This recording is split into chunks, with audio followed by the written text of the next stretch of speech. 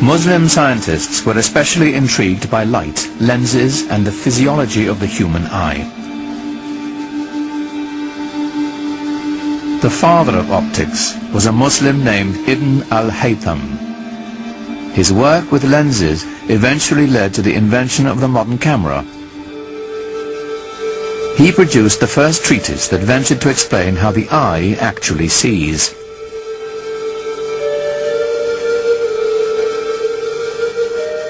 A thousand years before the West dared to take up the practice, Muslim doctors were removing cataracts surgically, clearing them from the eye with a hollow needle.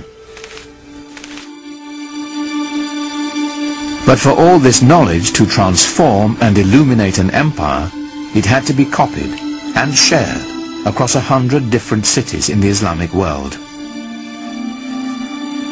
For this, there was a new invention, one that is still fundamental to learning and knowledge today. Paper. Around the year 700, 750, when Muslim armies reached Central Asia, they encountered paper for the first time. And very quickly, the Muslim bureaucracy um, started using paper. You find that, you know, within 50 years it's in Syria, and then a few years after that it's in, it's in Egypt, and then it's in North Africa, and then it's in, in Sicily, and then it's in Spain. And that's where Europe learned to make paper from. They learned to make it from the Arabs. We begin to have people with family names like papermaker. So in other words, it not only uh, that paper was available, it must have become a very, very uh, widespread industry. And hence, the acquisition of books must have also become very easy. With the wide use of books and paper, hundreds of scribes, some of whom were women, were kept busy transcribing the translations and new writings of the Baghdad scholars all of this knowledge that's being acquired from the Greeks and from the Indians and from Central Asian stuff is all being written down in books on paper. And that these books are being copied and recopied and sent around. We know, for example, that there was a street of booksellers um, with more than 100 shops, each one with paper and books for sale. Um, and this is a time when, you know, in uh, Europe, a monastery would be lucky if it had five or ten books.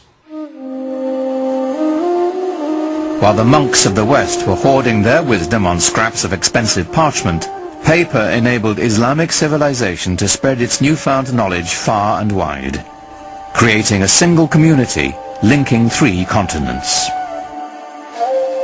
So the chief distinction, therefore, of Islamic civilization uh, in addition to the fact that it made new leaps of originality, new transformations in uh, traditions of learning and, and everything else possible, is the fact that it enabled human beings to consider the possibility of thinking about the globe as a single unit, humanity.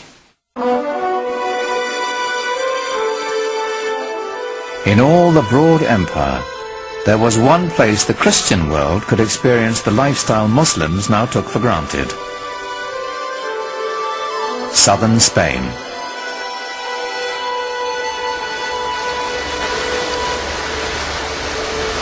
Here, on the European continent itself, Islamic culture would begin to have an effect on the European civilization around it. A thousand years ago, the Spanish city of Cordoba was a center of learning and culture that rivaled Baghdad.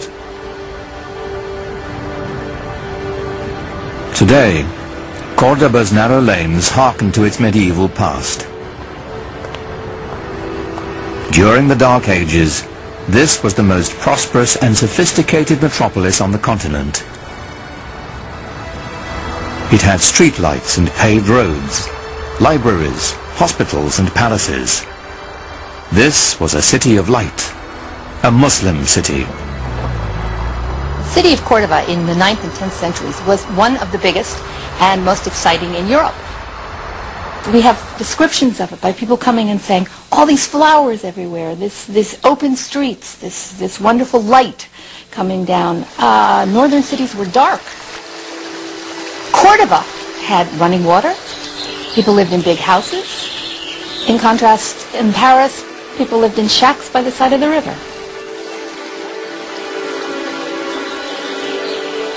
The glory of medieval Cordoba is here, in what is now the great Roman Catholic Cathedral in the middle of town. But the Cordoba Cathedral of today began its life as a mosque, one of the grandest of the Islamic Empire. The Great Mosque in Cordoba was simply the biggest mosque in the biggest city in southern Europe. When you climb up into the church tower, which used to be a minaret, you look out over this expanse of, of roof. It's quite amazing to see this cathedral, complete with flying buttresses, popping up out of this, the middle of this massive mosque.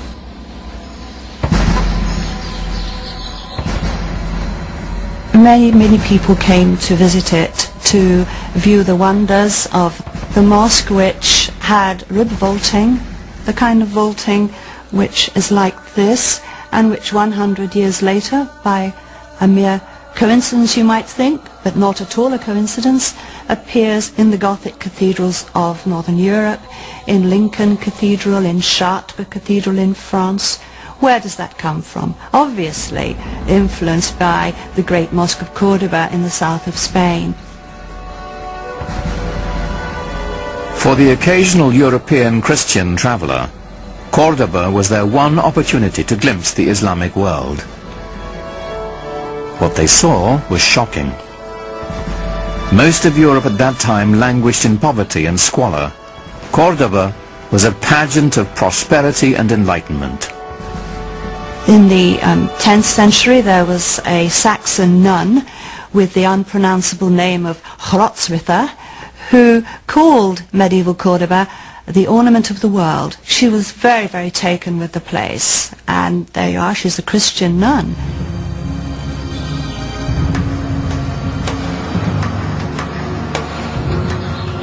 As Europeans made their way from the cold stone of their northern castles into the glorious Muslim cities of southern Spain, they couldn't help but be impressed. In the green hills above Granada was a palace of startling elegance, a shining example of the richness and sophistication Islam brought to medieval Europe. It is called the Alhambra, The Alhambra is perhaps the most famous example of, of Islamic architecture to, to most Westerners. It is the, the best remaining example of what a medieval Muslim palace would have looked like.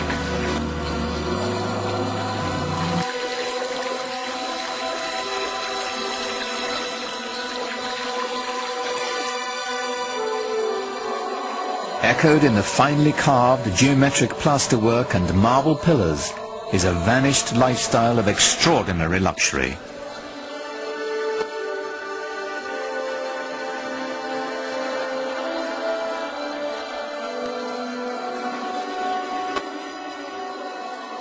The Alhambra reveals the pinnacle of Islamic culture and urbanity. The beauty of the Alhambra is not so much in the individual details. No, it's more the combination of everything. That is, this wonderful um, sort of orchestrated interplay of different textures and surfaces of light and space and water playing inside and outside of, of building